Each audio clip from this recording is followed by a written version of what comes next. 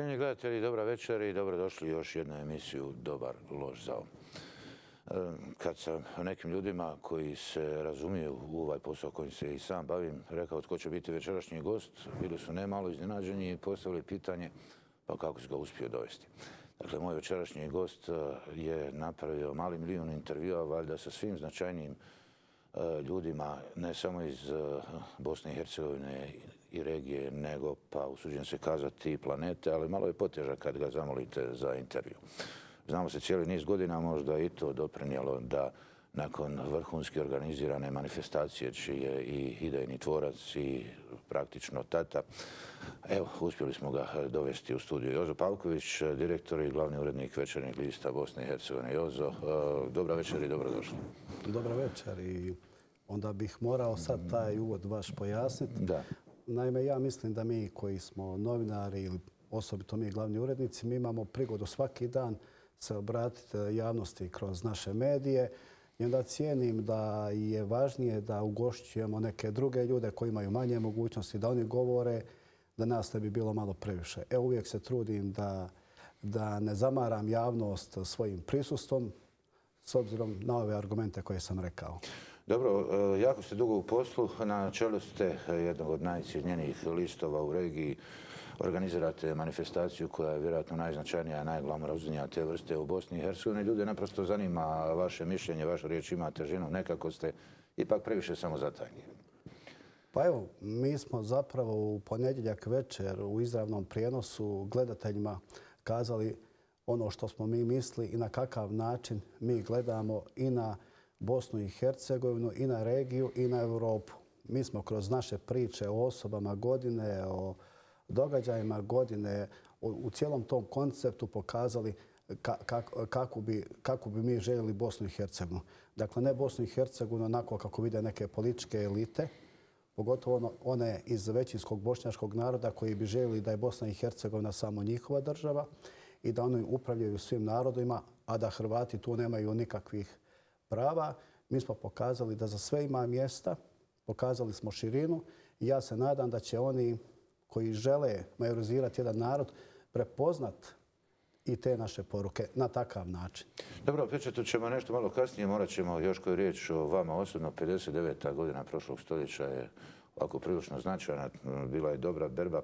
Ja moram kazati da smo mi isto godište i dugo se poznajemo, dugo ste u poslu. U večernjem listu ste prošli eh, praktično sve stepenice od eh, fotoreportera pa do glavnog urednika i direktora. Pa da, u 27 godina sam eh, već na poziciji prvog čovjeka večernjeg lista Bosne i Hercegovine, ali u, kroz to razdoblje sam bio i fotoreporter, i novinar, i ratni izvjestelj, ali paralelno s tim večernji list je od mene tražio da u vrijeme rata, a i neko vrijeme nakon rata, budem i dopisnik Associated Pressa, to je najjača svjetska agencija u kojoj sam objavio stotine fotografija koje su svjedočile o događanjima ovdje kod nas, prije svega u Hercegovini, ali i u enklavama u koje sam ja ulazio i iz njih izvještavao. Pa glava vam je, ako hoćete dobru fotku, u vrijeme rata uvijek bila, na izvolite, to je bio baš onako dobro opasan posao. Pa dobro, to je još uvijek bilo lakše nego onima koji su bili na, na prvim crtama. E, na koncu i ponese vas taj adrenalin da snimite jednu dobru fotku, pa vas bude i manje strah, ali u svakom slučaju to je bila neka i naša, dakle kad kažem, naša, tada mislim na sve novinare i fotoreportere, ne samo one koji su radili u večernjem listu, nego i u drugim medijima, naša borba da tada kažemo istinu koja je se vrlo često zataškavala kada je u pitanju hrvatska strana. E, nemilosrdni ste prema sebi, to će kazati svi oni koji vas poznaju. Imate jako visoke kriterije, visoke standarde. Evo i danas ste došli e, prilično bolesni, ne skrijete to, obećali ste, eto vas tu. Pa evo, da, ne skriva. Naime, ja sam prije dva mjeseca imao e, puknuće krvne žile u glavi. Liječnici su rekli da od tisuću jedan baš bez posljedica ovakvih kakve sam ja imao prođe. Međutim, e, umjesto kućne njege ja sam morao, evo, kad sam se vratio nakon uskrsa iz bolnice, morao sam raditi večernjakov pečat, a tu se ne može napola. Ili morate raditi dnevno 15 sati sa svojim suradnicima, a nas je jako malo u večernjem listu, jedan dio ekipe je morao praviti novinu, odnosno morali smo paralelno svi sve raditi, a zapravo i dan i noć sam provodio organizirajući ovu manifestaciju. Jako su vam dobro namjerni govorili da bi bilo vrijeme dignuti ruke od svega toga. Pa evo, to govore svake godine, jer to je jedan zahtjevan projekat koji jedna mala ekipa kao što smo mi teško i sve teže može ovoga iznijeti. I svake godine kažete neću više, pa onda dođe sljedeća i napravite još impresivniju, još impozantniju manifestaciju. Pa svake godine gledatelji kažu ovo je bio najbolji pečat. To su rekli nakon prvog i petog i sedmog i evo sedamnaestog.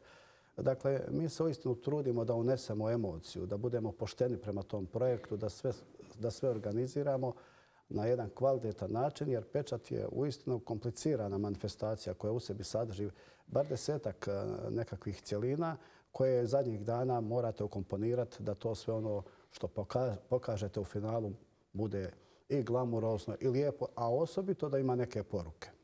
Oni koji vas poznaju kao radišne, sad ću biti malo zločast, kažu da ste pogotovo prije bili jako dobar domaćin kad vam se dođe u goste. Sve na stolu i hrana i pićić, samo nema Joze, otišao je negdje u radnu sobu, gore na tavan i izgubi se par sati da dovrši preuzeti posao. Pa, kolega Marija, malo ste zločasti, s obzirom da sam takav domaćin bio jednom prema vama, naime, e, kao što se sjećate, došli ste mi u goste i pozvali smo iz redakcije da napišem neki vrlo važan tekst. E, nažalost, posao iznad svega, ja sam siguran da sam ja došao kod vas u goste, da bi vi to isto uradili, a da bi ja isto vas razumio. Dakle, vi ste trenutno bolesni. Imate ste sjajnu rečenicu nedavno. Mm, e, ili Lanić, nimi se i Bosna i Hercegovina je bolesna, a liječi se andolima. Pa da, da, napisao sam jednu takvu kolumnu jer je meni nevjerojatno da međunarodna zajednica pacijenta koji se zove Bosna i Hercegovina liječi andolima. I to sam rekao svakom predstavniku međunarodne zajednice u zadnjih, eh, ne znam, 15 godina od kad su oni tu. I stalno sam im govorio zašto vi pacijentu ne otkrijete diagnozu. Vi ga liječite andolima umjesto da otkrijete E, dijagnozu, a dijagnoza je da je taj pacijent bolio teške bolesti koje se zove rješavanje nacionalnog pitanja. Kad se riješi nacionalno pitanje, ovoga, bit će riješeni svi problemi u Bosni i Hercegovini. Međutim, međunarodna zajednica pokušava silom riješiti problem, a pacijent je sve bolesniji, on je sve više na infuziji i on ne može bez podrške međunarodne zajednice, a moguće da je to razlog zašto pacijenta liječe andolom, jer mnogima uh, odgovara da on ne ozdravi. Gotovo pa vegetira. Vegetira, da. Impresivna karijera i za vas susreti, već sam u najavih emisiji kazao, s najznačajnijim svjetskim liderima. Pa sad ne baš puno originalno pitanje, ali što posebno pamtite? Pa recimo, jedan od tih susreta nije mi se dogodio baš zbog toga što sam tog dana kad sam trebao ići u New York, E, Eh, trebao sam se susreti sa predsjednikom Skupštine Ujedinih naroda, ali taj dan sam završio u bolnici. Eh, pa recimo, ako bih trebao izdvojiti, to su svakako susreti s papama. Ja sam imao prigodu susreti se sa svom trojicom papa, sa Ivanom Pavlom II, sa Benediktom i sa papom Franjom. Mislim da sam se susreo pet puta i svi ti susreti nisu bili kao jednog hodočasnika, nego su bili u njegovoj knjižnici. Dakle, imao sam prigodu svaki put s njima i razmijeniti bar nekoliko rečenica. Onda, kako narod kaže, ulazi se bez kucanja to već? Pa evo, rijetko koji državnik na svijetu može kazati da imao susret s trojicom papa i to u njegovom uredu. Crpi ovaj posao, to su lijepe stvari, ali svakodnevni stres, trka, termini. Pa da, to je svakodnevna... I posebno ambijent ove države u kojem jesmo. Pa evo, vi ste rekli da smo mi generacija. Vjerojatno svi iz naše generacije izgledaju puno mlađe nego nas dvojica, s obzirom da se radimo ovim poslom. Pa u svakom slučaju morali bi ponovno otići kod e, optičara. Dobro. Napisali ste više knjiga. Zašto ih ne promovirate? Pa evo, evo je moja tu na našem stolu. Knjiga Urednikov pečat. E, naprosto ne mogu podnijeti da na promociji knjige se potpisujem ljudima koji bi kupili moju knjigu. Ja ne živim od toga i to bi mi bilo neko poniženje da netko kupi moju knjigu i samo ja e, pravim posvetu. ja sam izbjegao u Zagrebu, unatoč molbama mojih iz redakcije da ovoga, radim promocije dvije u Zagrebu i nisam uradio niti jednu u Bosni i Hercegovini. To je vjerojatno jedina knjiga bez promocije iz tih razloga. Iako je ta knjiga doživjela i svoje drugo izdanje. Urednikov pečat. Jeste, urednikov pečat i ja sam je na putovanju u desetom mjesecu u Australiji i Novom Zelandu promovirao u nekim gradovima i naravno tamo sam je također podijelio na opće čuđenje ljudi u toj dalekoj državi, jer su rekli da u Australiju su svi dolazili da skupljaju neke novce, a konačno je netko došao i daruje svoju knjigu. Oni su siromašni tamo, treba im nešto tako. Ali u svakom slučaju ovoga, to sam želio i to mi, to mi je pričinjavalo veliko zadovoljstvo, jednako kao što mi je pričinjavalo zadovoljstvo što je apostolski nunci Aleksandar Dariko Papin iz Zaslanik u Hrvatskoj kad je odlazio, htio je svakome darovati moju knjigu, pogotovo što sam ja tu knjigu napisao upravo na njegov nagovor. Ja sam od svoje firme, od večernjeg lista, kupio 400 knjiga i svim njegovim gostima sam je darovao. Zanimljiva priča, baš kao i jedna knjiga koju ste e, darovali Svetom ocu Papi. Pa evo, to je ta knjiga. S nekim rednim brojem, je li Da. Naime, mi smo žurili prošle godine, mislim da je bio prvi srpanj, da knjigu ovoga završimo i da, da, da je čim iziđe iz tiska uručimo Svetom ocu. Naime, ja sam njemu uručio primjerak broj 2 i napisao sam u posveti da sam broj 1 uručio svojoj čerki. Ja sam tada saznao, saznao da se ona udaje i rekao sam da je i ta knjiga nastajala e, zbog toga što sam htio pokazati e, u kakvoj poziciji je jedan narod. Nisam žalio svog vremena, ali zbog toga sam vrlo često izbivao iz kuće i nije me bilo vrlo često kući, odnosno gotovo me nema nikada doma. I, ovoga, I evo, bar da se na neki način odužim svojoj obitelji, ovog puta svojoj čerki i njoj sam daravao primjerak broj 1. A inače sam papu u posveti zamolio da pogleda krikove jednog naroda, tako sam nazvao svoje kolumne, u kojima sam opisivao stanje nas Hrvata i položaj nas Hrvata, očekujući podršku i njegove države Vatikana. Ipak, pečat je valjda e, nešto posebno u vašoj karijere. Evo i knjiga se zove Urednikov pečat, manifestacija traje evo već 17 godina. Kako je krenula priča koja je postala eto, najznačajnija priredba te vrste u Bosni i Hercegovini? Pa, kad, smo, kad sam preuzeo večernji list, ja sam morao njega iskomunicirati kao domaću bosansko-hercegovačku novinu, pošto je to novina iz Hrvatske, iz Zagreba i vrlo su često ljudi pregovarali, vi niste domaća novina, iako mi imamo svoju redakciju, iako imamo novinare, iako samostalno, imamo samostalnu uređivačku politiku. S druge strane, često na kolegijima ističem kako mi, novinari, urednici, pišemo o ljudima koji ne zaslužuju takav medijski prostor. A da neki drugi koji imaju i gotovo svjetske uspjehe su negdje po strani i nikada svjetla reflektora nisu prema njima usmjerena. Iz tih razloga sam se odlučio da e, napravimo tu manifestaciju i upravo kako sam zamislio to prve godine, ona se tako i odvija. Međutim, nisam uspio ono što sam o, e, htio narednih godina, a to je da ta manifestacija bude finale, desetak predmanifestacija koje bi, koje bi se održavale u različitim gradovima u Bosni i Hercegovini gdje bi imali jednu manifestaciju gdje bi se birali gospodarstvenici, u drugoj političari, u trećoj sportisti i tako dalje. To bi stvarno bilo sjajno, ali 17 godina trajati i sa ovakvom manifestacijom bez tih izlučnih natjecanja, ajmo ih uvjetno tako nazvati, je vrhunsko postignuće u zemlji poput Bosne i Hercegovine. Pa jeste, pogotovo što sve drugo je drugačije od večernjakovog pečeta. E, svi drugi rade manifestacije gdje bi promovirali ili svoje narode, svoje političke opcije, svoje, svoje neke druge prijatelje. Međutim, mi se pokušavamo izdići iznad ove kaljuže i pokušavamo pokazati kako i ovdje, osobito u Mostaru gdje mi organiziramo tu manifestaciju, već odavno stanuje Europa. Bila je jednom organizirana i u Sarajevu, koliko se sjećam, je li tako? Pa da, ali u svakom slučaju mi smo se nakon e, dva, dvije manifestacije koje smo organizirali u Sarajevu i jedne u Neumu dogovorili da se ona ustali i da ona bude u Mostaru i da na neki način i to bude dio njeznog brenda. Još jeste li vjerovali kad ste krenuli ovu priču da će ona stvarno tako dugo i uspješno trajati, 17 godina? Da, apsolutno.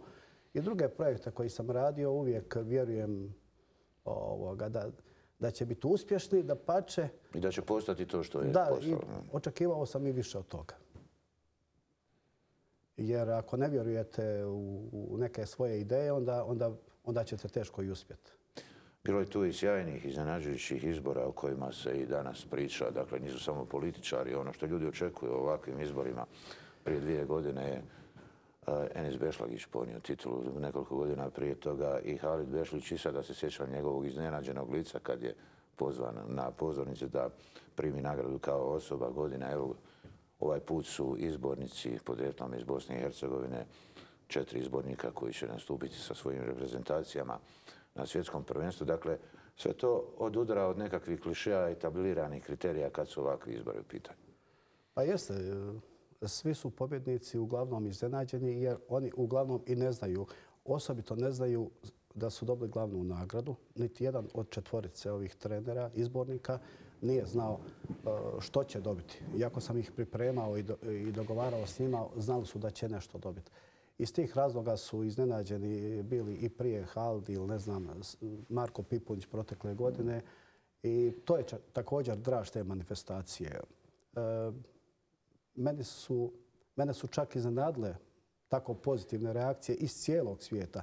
Doslovno iz cijelog svijeta da su ljudi jako zadovoljni da smo izabrali četiri izbornika. Osobito što je rijetko tko e, to prepoznao. Rijetko ko zna da mi imamo iz Livna, iz Jablanice, iz Ence, iz Sarajeva četvoricu ljudi koji su uspjeli četiri reprezentacije odvesti na svjetsko prvenstvo. To je samo još uspjelo Argentini a da mi to nismo primjećivali, a da absurd bude još veći, Bosna i Hercegovina čak nije se uspjela plasirati, a četvoricu izbornika imala koje su uspjeli odvesti četiri države. Ja sam razgovarao jutro sa gospodinom Dalićem, jučer sa Halihođićem, Krstajićem i Petkovićem.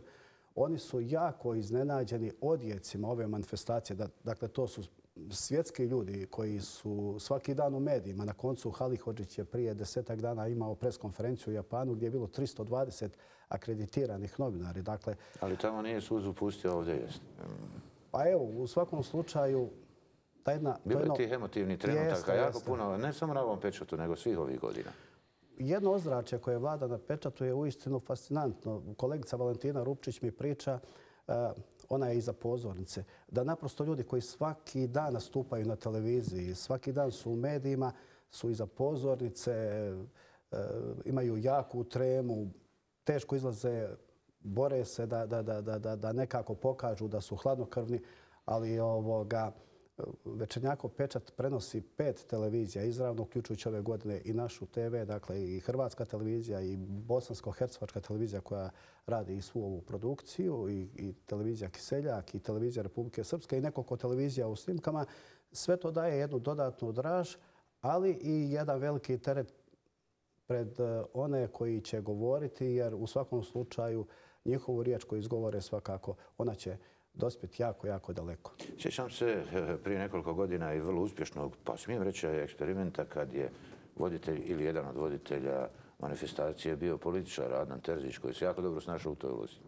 Pa pokušavamo... Mm, Raziti stereotipe. Da, da, upravo to ste dobro rekli.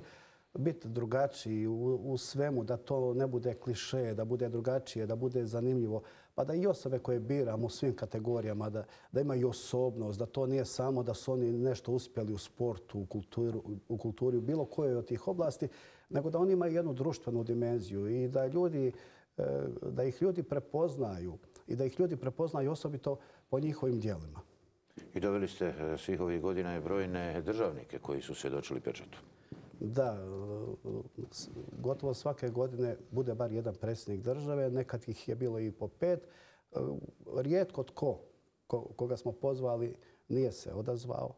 Dakle, mi ciljano zovemo, sad ne sazivamo tu summit da bi, da bi ovoga, bili oni samo viđeni. Svakog od tih državnika imamo u funkciji ili je dobio nagradu ili, ili će se obratiti. Ali kad ih je više iskoristio, one vrijeme i za neke valjda kvalitetne razgovore. Jeste.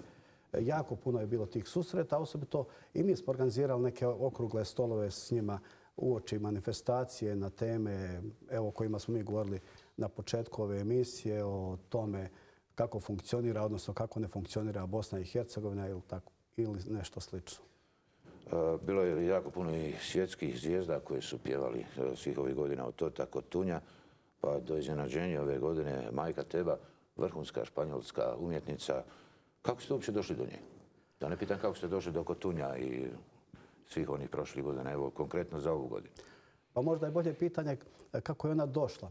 Naime, e, večer prije manifestacije je trebala e, krenuti Sevilje za Zagreb, za Split i ukrcala je svoje stvari i onda je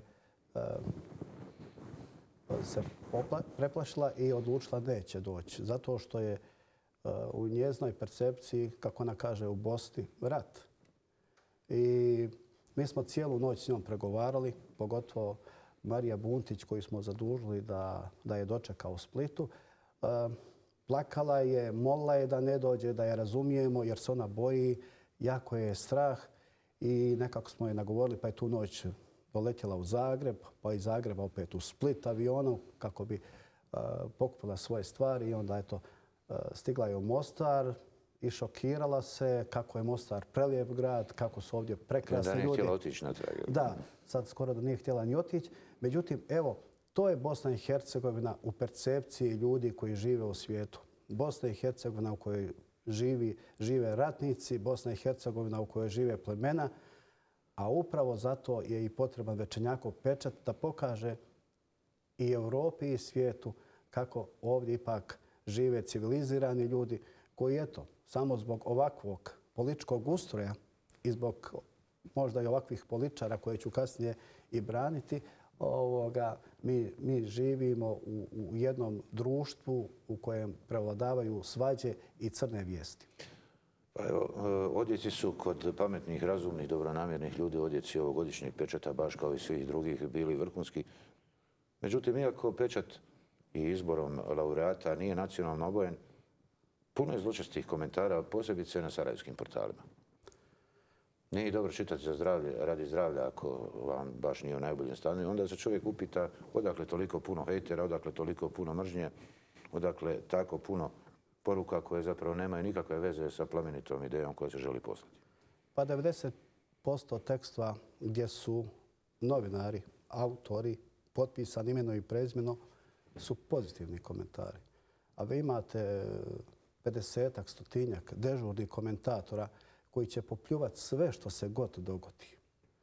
E, I to postoji na svim portalima. Ja uistinu ne, ne, ne čitam takve komentare i ne obazirem se na to. Međutim, e, važno je čut i sve. I one koji jako kritiziraju.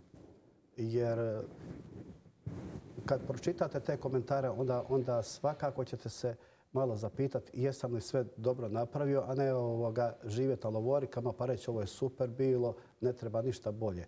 Dakle, svi ti komentari su meni koliko god bili i zločesti, poticajni. Međutim, dovoljno je vidjeti koji je portal i odmah ćete ovoga moći e, pretpostaviti kakvi će vas komentari čekati ispod tih tekstova. U svakom slučaju, Peča djeluje vrlo integrativno u dezintegrirajućem ambijentu današnje Bosne i Hercegovine.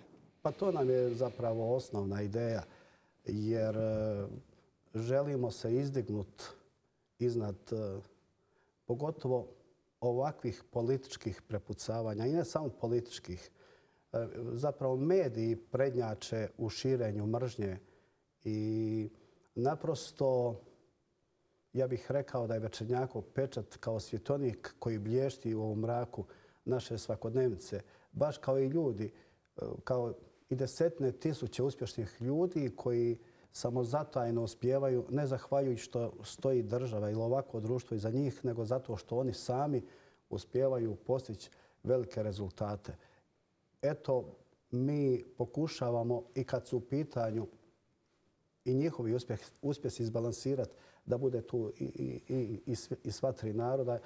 Tako da ovoga, mislim da svi oni koji gledaju Večernjakov pečat prepoznaju tu našu poruku. Cijenjeni gledatelji, moj vaš večerašnji gost u ovom izdanju emisije Dobar lož za oje e, Jozo Pavković, direktor i glavni odgovornik, urednik e, Večernjeg lista Bosne i Hercegovine, čovjek koji je prije 17 godina pokrenuo i iskreirao, njegovao jednu prekrasnu priču koja će sljedeće godine, u to sam sasvim uvjeren, doživjeti i svoje punoljetstvo. Malo vremena za naše poslovne partnere, pa se vraćamo razgovoru s gostom.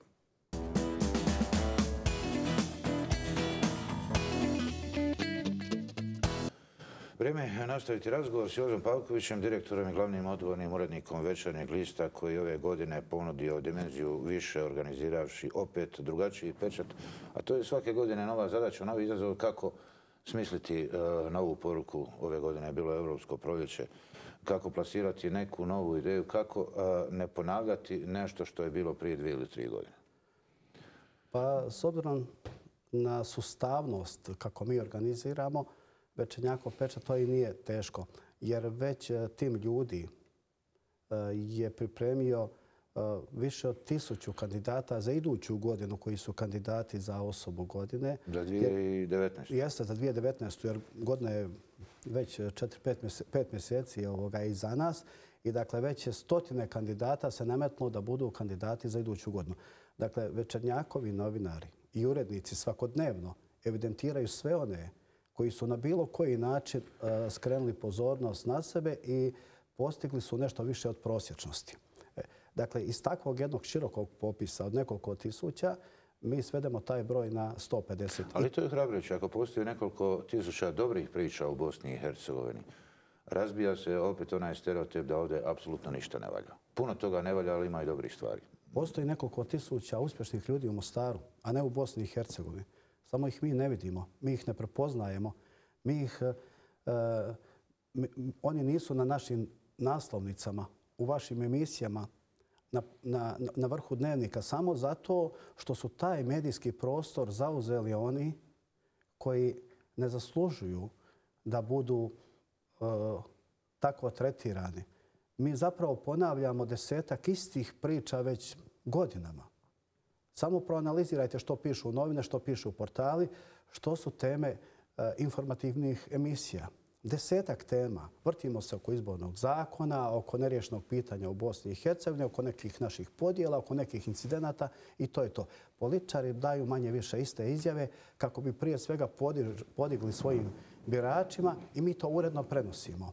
A oni ljudi koji su uspjeli poput Mate Rimca ili ne znam, mnogih u Mostaru, uspješnih gospodarstvenika, sportaša, um, dakle iz svih sfera Pa dugo života. sam novinar, znate što je vijest? Ono, ko, koga ugrizao. Jeste, ali e, Ljudi su malo mazohisti, traže tu tamnu stranu života, očito. to je začarani krug. Ja vrlo često kažem i kad nas napadaju zašto imate crne stvari. Iako mi izbjegavamo u večernjem listu uh, objavljivati uh, crnu kroniku u onom najprimitivnijem smislu. I odmah trpi naklada. Jeste, odmah trpi naklada. Isto tako kažem, ne ide nitko na tržnicu prodavati ono što ne ide. Naprosto, oni koji najviše pregovaraju zašto se objavljuju te vijesti, njih najviše čitaju, jer inače ne bi ni znali da ovoga postoje u novinama ili na televiziji, da ih ne, ne čitaju. To je jedan začarani krug. Ja zapravo i ne razumijem zašto smo mi svi pomalo mazohisti, uživamo svi u tom vlastitom mučenju ili u mučenju drugih. E, I to volimo i čitati, o tom volimo pisati, to volimo snimati. Evo, naći ćemo i temu medijskog, općenito medijskog prostora u Bosni i Hercegovini koji je vrlo iscipkan i u principu nudi najmanje tri istine, iako bi istina trebala biti samo jedna. Pa upravo kako ste rekli, u ovoj državi žive tri naroda, tri medijska prostora, tri istine, sve tri. E, mi se nismo snašli u ovom vremenu. Naprosto, Kad kažete vi, na koga mislite? pa svi mi koji imamo više od 40 godina doživjeli smo nekoliko revolucija. Mi smo doživjeli informatičku revoluciju, medijsku revoluciju, oružanu revoluciju i ne znam sve kakve ne revolucije. Sjete se prije 40 godina mi smo pisali na običnom pisaćem stroju. Danas su to računala. Do, e, nevjerojatno je dokle, se, dokle je uznapredovala ta tehnika. Ali tako je u svim segmentima. Prije su postojale jedne, dvoje, troje novine. Ako vas, e, e, ako osjećate nostalgiju za tim vremenom, kad ste imali fotoaparat, malo drugačije, već imam jedan film doma, KV17, sjećate se. Nije čemu, ali je za Da, da, ali mi smo tada imali uh, film u aparatu, danas je to sve digitalno. Dakle, sve se promijenilo, a osobito se promijenilo, promijenilo to što je medija, da su mediji kao gljive posle kiše izrastali. Danas gotovo svako selo bar ima dva portala. Dakle, svi su se zapravo građani pretvorili u novinare. Sad je više novinara nego čitatelja. I sve manje odgovornosti. Dakle, nema nitko više odgovornost, pogotovo ne na portalima. Mi još u, u, onim, u printanim medijima imamo odgovornost jer se potpisujemo ispod svojih tekstova, podliježemo E, kaznama ako, ako nas netko tuži. Međutim, na portalima vi ne znate ni gdje on o, registriran. Zapravo one prednjače e, govora o mržnji. Da. I dakle, portali su postali, često se to nama spočitava iz pisanih medija kako su nama konkurencija. Oni su više konkurencija televiziji i svima drugima. Dakle, danas tko god otvori portal, to uradi za jedan dan, on je novinar, on je urednik i on može plasirati svoju istinu. Dakle, nisu samo tri istine. Dakle, njih ima tri tisuće i tri. E, pogotovo oni portali koji su registrirani izvan Bosne i Hercegovine. Jer ne podliježu nikakvim zakonima. Osim toga, i nema nikakvih zakona kad su u pitanju portali. Kad je medijski prostor u pitanju općenito u Bosni i Hercegovini, čini mi se i ne samo meni da su Hrvati u dobroj mjeri e, marginalizirani. Pa je sve do pitanje ustroja organizacije e, javnog servisa. Pa evo, to je stara tema. Hrvati se godinama bore da dobiju svoj kanal i nevjerojatna je činjenica da, da nema se sluha za to. Naprosto, Mario, i vi ste bili direktor BH televizije i znate koliko je tu otpora. Ne na BH televiziji, jer o tom i ne odlučuje BH televizija, nego odlučuju političari naprosto... No, je... Uvijek sam spreman reći da je ta televizijska kuća potpuno drugačija od ostala dva javna servisa. Jeste, apsolutno se slažem s vama. E, to je televizija koja ipak pokušava biti iznad i ne svrstavati se inači u stranu. Međutim, političari ne dopuštaju.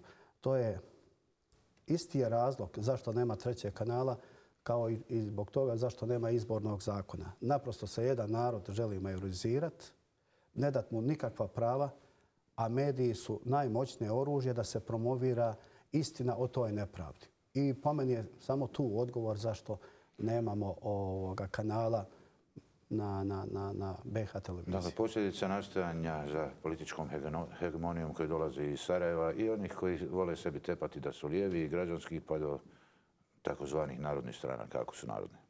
Ma nema tu ni lijevi ni, ni desni, naprosto tu postoje stranke koje prednjače u projektu, u velikobošnjačkom projektu. E, oni žele ono što nisu u ratu ostvariti u miru i zapravo Hrvate svest na jednu nacionalnu manjinu i sve ono što se događa zadnjih 15 godina vodi u tom smjeru.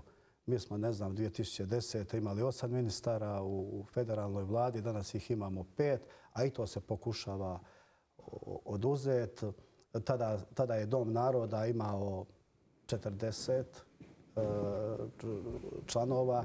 Sada je taj Dom naroda umjesto samo hrvatskog i bošnjačkog razvodnje kako bi imao četiri kluba, uveden je klub Srba i klub ostali, a sve kako bi se kako bi bošnjačka elita ovladala sa sve četiri kluba, pa i sa hrvatskim klubom i zbog toga nije kao prije da odlučuje se nad polovičnom većinom, što bi bilo prirodno, nego se odlučuje u svakom klubu jednom trećinom.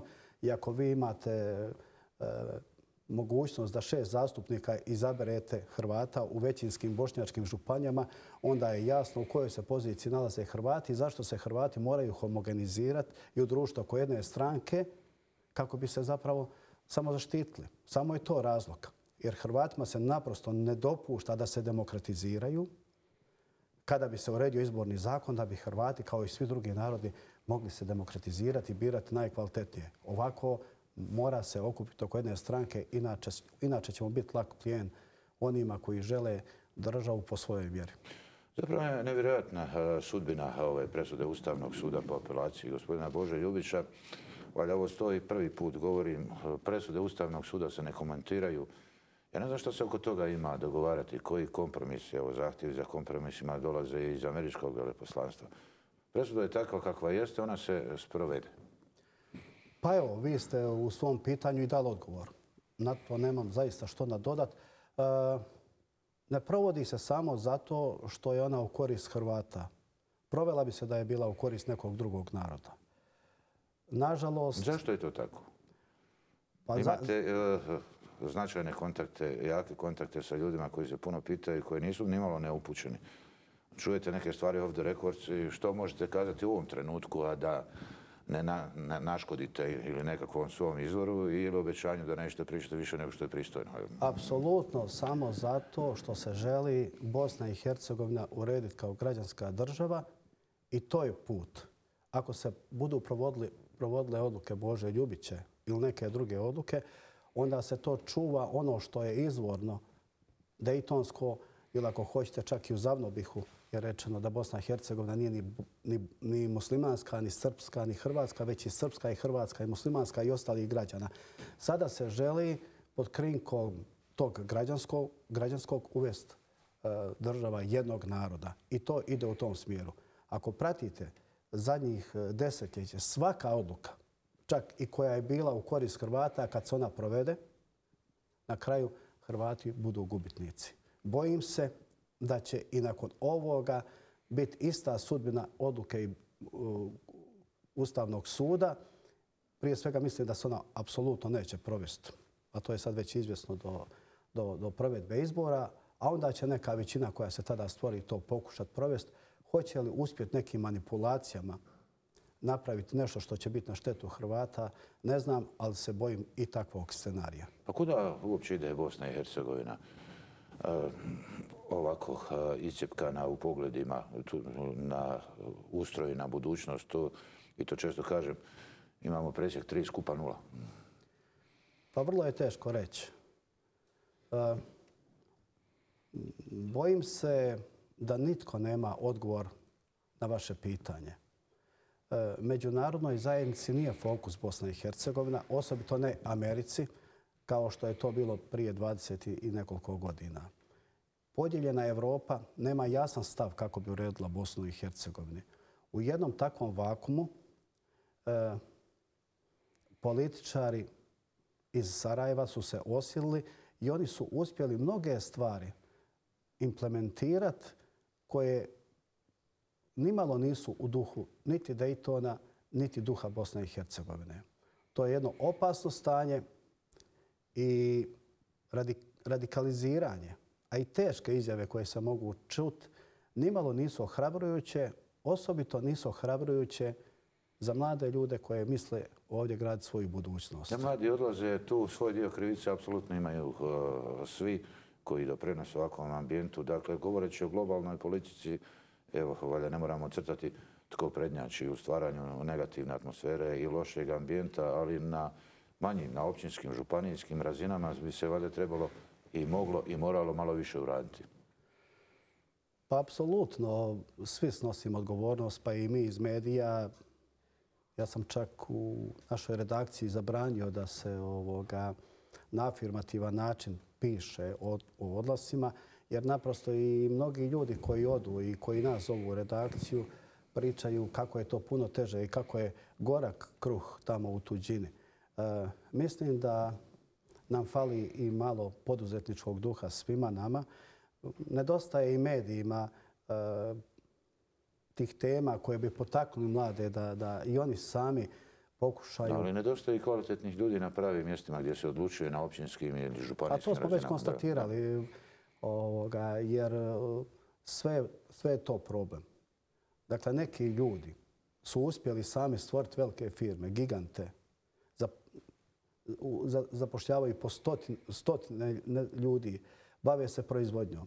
Naprosto mi danas e, imamo sliku da mladi ljudi uglavnom žele se zaposliti u neko od javnih poduzeća, da, da nema poduzetničkog duha, da kako koje, kojeg nije politika stvorila, ali našli smo se u jednoj teškoj situaciji jer prije 40-50 godina su odlazili stariji i samci, danas odlaze mladi, školovani i cijele obitelji. Malo pre ste spomenuli e, međunarodnu zajednicu, iako je to vrlo amorfan pojam, teško je danas objasniti što bi zapravo to trebalo značiti. Dakle, e, tih e, stranci koji, ako ništa žive u Bosni i Hercegovini, manje ili duže visoki predstavnik je već gotovo cijelo desetljeće u Bosni i Hercegovini. Poslanici velikih sila su također po nekoliko godina tu. Znaju li oni uopće što se događa u Bosni i Hercegovini, kuda ovo sve skupa ide? Bojim se da ne znaju. Tvrdim vam, kada bi ispitivali predstavnike međunarodne zajednice što je ovdje problem, 90% ne bi znali objasniti što je sporno. Zašto Hrvati traže svoja prava? Što je problem u izbornom zakonu? Tvrdim vam, kada bi razgovarali u Hrvatskoj, kada bi ih upitali što je problem, 99,9% u Hrvatskoj ne znaju. A na temelju dojma, na temelju stereotipa u Hrvatskoj govore o našoj poziciji, baš kao i predstavnici međunarodne zajednice. E, jedan visoki međunarodni diplomat mi je prije 15 godina rekao vi Hrvati ste najveći dobitnici nakon drugog svjetskog rata. Dobili ste Hrvatsku državu. Zapamti Jozo, nikad nećete dobiti nikakav entitet, nikakvu Herceg Bosnu. A, a, a vi pišite što god hoćete. I to je suština.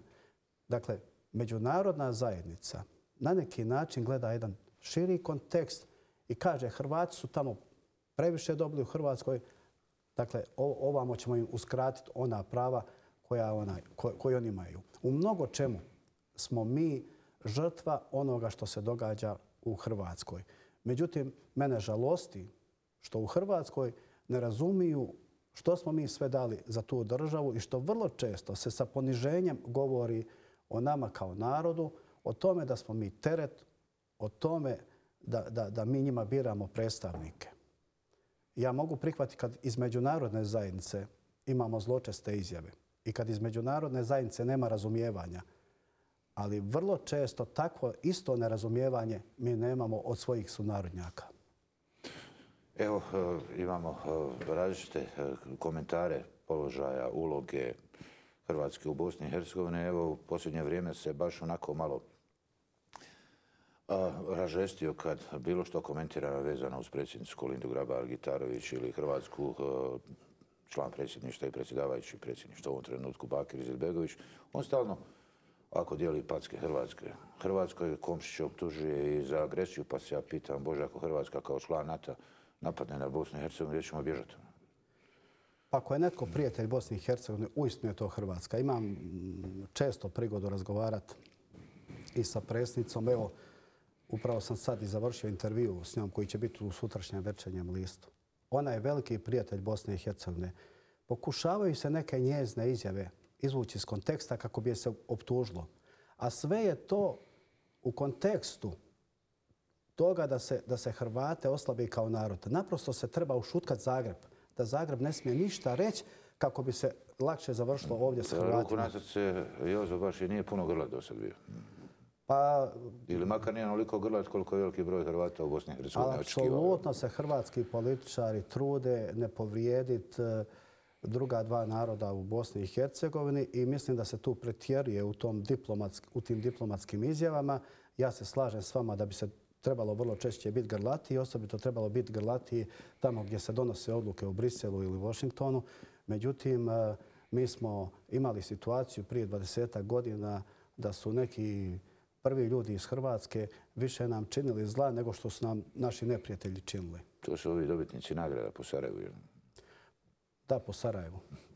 E vidite, dakle, imate SDA kao vodeću stranku u Bošnjaka iz koje dolaze pa prijeteći tonovi prema Hrvatskoj. Pelješki most je opet posebna priča. Imate SDP koji je vrlo sličan, navodno, stranka lijeve provenijencije.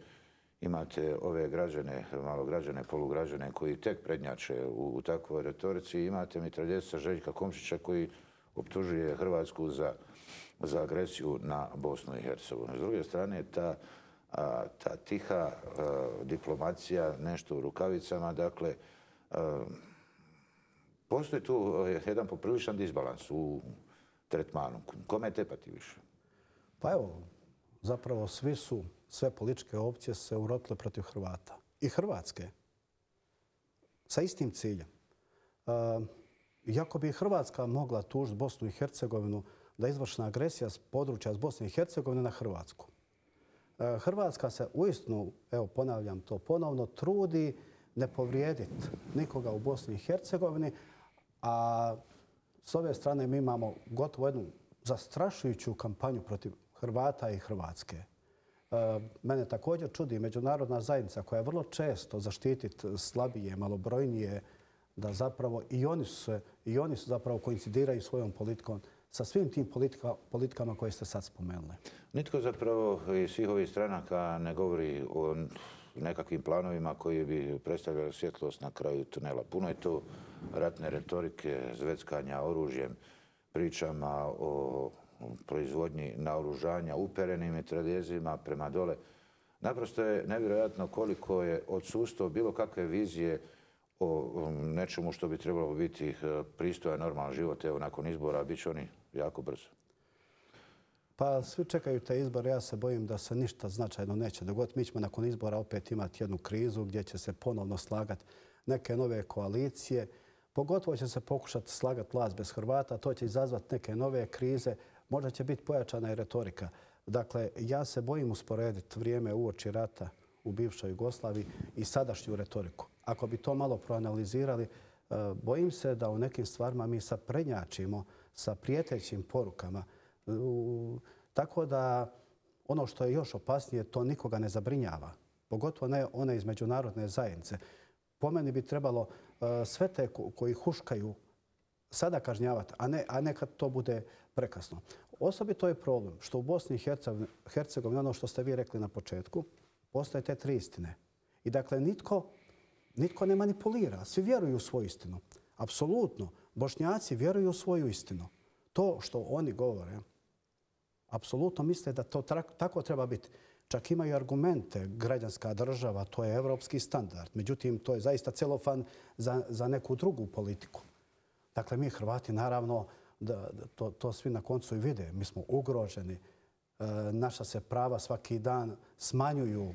E, pokušava nas se svest na nacionalnu manjinu. Bojim, bojim se da negdje i nacionalne manjine imaju više, više prava nego mi. Srbi su također uvjerene u svoju istinu, u svoju priču. S tim da su oni u dobroj poziciji, oni su zaokružili svoj teritorij i s te pozicije mogu voditi jednu drugačiju politiku. Dakle, te tri istine se jako sudaraju i to je najveća opasnost. Jer kad bi bar netko od ta tri naroda manipulirao, bilo bi prostora za kompromis. Ima jako puno razmišljanja da se bošnjaci u ovom trenutku u Bosni i Hercegovini osjećaju eh, jaki moćni, baš kao i Srbi u bivšoj Jugoslaviji, da kao da prepisuju sve one pogreške koje su Srbi radili, a onda neke mudri ljudi kažu da Jugoslavije više nema. Apsolutno je isti koncept. Ono što je Beograd radio u bivšoj Jugoslaviji, danas radi Sarajevo. Ono što je radila velikosrpska politika u Jugoslaviji, danas to radi velikobošnjačka. I sve je isto. Ja samo želim vjerovati kako neće biti isti epilog. Imate i stalne revizije povijesti. E, Bihačka enklava, enklava je mogla biti puno gora priča od Srebrenice. A vi ste bili u Sarajevu kad je Srebrenica pala, tako? Pa to je bio možda jedan od mojih e, profesionalnih promašaja pod navodnicima. Naime, e, tada sam... Ovo je mala digresija, nastavit ću, ali ispričajte. Da, da, tada sam svjedočio jednom događaju koji je gotovo nezapaženo u javnosti, Hrvati i Bošnjaci su se dogovarali da deblokiraju Sarajevo. E, I tada nitko nije mogao niti ući, niti izići u Sarajevu. I ja sam bio sa predstavnicima, sa generalima HVO-a na susretu sa bošnjačkim generalima. Dobro, imala je ona Rita u Sarajevu koja je kontrolirala tunel. Jeste i ja sam tu noć ušao u Sarajevo i kad sam došao sutra u Sarajevo, odnosno preko sutra, pala je Srebrenica. Dakle, ja se više nisam mogao vratiti, ostao sam 13 dana u Sarajevu, više Sarajevo nije bila priča i nikad nije realizirana ta ideja da se deblokira Sarajevo, dakle Hrvati i Bošnjaci. E, međutim, tada, su, tada je Hrvatska vojska kroz Oluju deblokirala Bihać. Također... A ne, ne, u krivu ste. E, peti korpus je oslobodio Hrvatsku. Imate sad novo nova tumačenja povijesnih događaja. Pa eto, upravo sam to htio reći.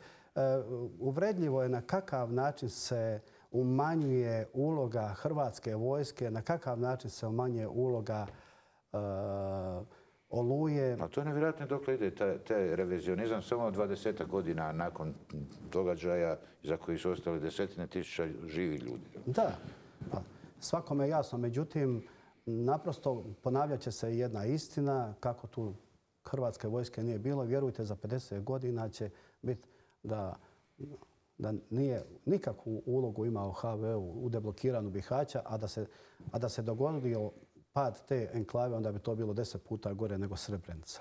Čujte, meni ne bila mrska uh, Jozo ideja o građanskoj državi, ali nekako sam pomalo skeptičan da bi sim, u najmanju ruku simpatizer, ako ne i član muslimanske braće, bio u stanju to provesti u dijelu. Građanska država u Bosni i Hercegovini moguća je samo na tri prostora, na tri etnička prostora. U protivnom, sve drugo će izazivati sukobe. Eh, imamo još jednu zanimljivu temu. Dolazi nam u posjetu koja je podijelila konačno i Sarajevsku javnost političku. Ne mislim o običnim malim ljudima koji imaju puno prećih problema od toga. Dakle, na predizborni skup u Sarajevo dolazi turski predsjednik Recep Tayyip Erdogan. Ha, da, to je stalno pokazivanje tog bošnjačkog, turskog prijateljstva koje također iritira i Hrvate i Srbe. I svakako... To je dobar broj bošnjaka, da se razumijemo. Da, slažem se s vama. I svakako to je nešto što nije dobro došlo, pogotovo ne nije dobro došlo u ovom trenutku u Bosni i Hercegovini. Međutim, ja mislim da će to sve ipak proći mirno. I ono pa ne mislim nije da će se pucati, ali poruka koja se šalje je vrlo neobična. Iako ćete naći opet na onim portalima milijun i jedan komentar opravdanja, pa evo kako Vučić dolazi u Bosni i Hercegovini, kako Kolinda vršlja tamo ovamo. Ma naravno, to je neusporedivo. predizborne skupove tu. Naravno, to je neusporedivo s obzirom da Erdogan ne može nigdje u Evropi imati predizborni skup, a može u Sarajevu. To je samo po sebi poruka i to je sam po sebi komentar. Znate li da je zapravo promijenjeni termin utakmice, derbi utakmice između Sarajeva i Željezničara, iako je Nogometni savez Bosne i Hercegovine, koji je valjda nadležan za te stvari, propisao da utakmice posljednje kola sve moraju početi u isto vrijeme. A možete li zamisliti, možete li zamisliti da predsjednica Hrvatske Kolinda Grabar-Kitarović ima predzborni skup i da se pomjeri utakmica? I to govori o odnosima u Bosni i Hercegovini. Hoće li to biti promocija možda i budućeg kandidata za bošnjanskog člana predsjedništva. Puno se priča o dinastiji, političkoj dinastiji Izetbegović. Ja apsolutno mislim da je to u toj funkciji i da apsolutno mm, gospodin Bakir Izetbegović pokušava e, za člana predsjedništva instalirati svoju suprugu ili u najmanju ruku da ona preuzme stranku SDA.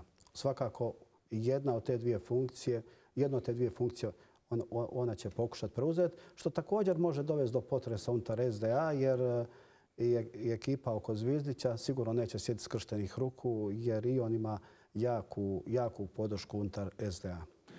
Međutim, ono što je posebno za zanimljivo bio tata, pa bio sin, pa sad sinova supruga.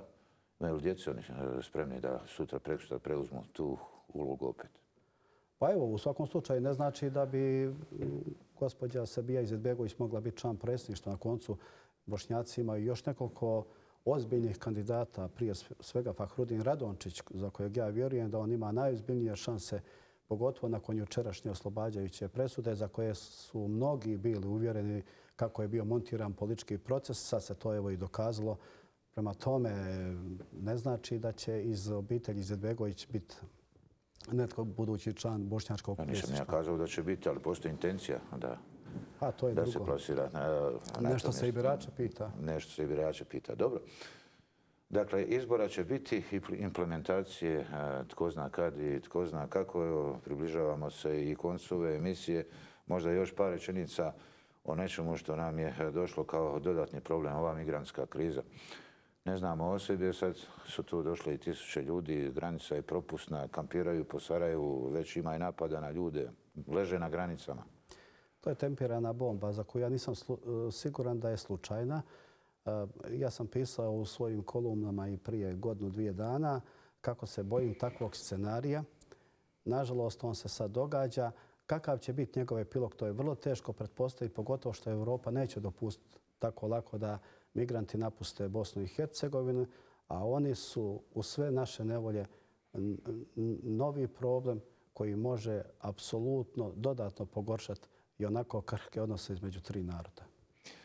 Evo nas, dakle, na samom koncu emisije 17 pečata iza nas. Do godine ste kao tata pečata, smijem vas tako nazvati. E, doživjet ćete puno ljestvo svog čeda, jel? Pa evo... Priprema su počele. Da, pripreme su počele. Ja sam ponosan na tim ljudi koji radi sa mnom, na redakciju Večernjeg lista prije svih. Također moram uistinu istaknuti e, i ljude sa BH televizije koji stvarno daju jedan veliki doprinos.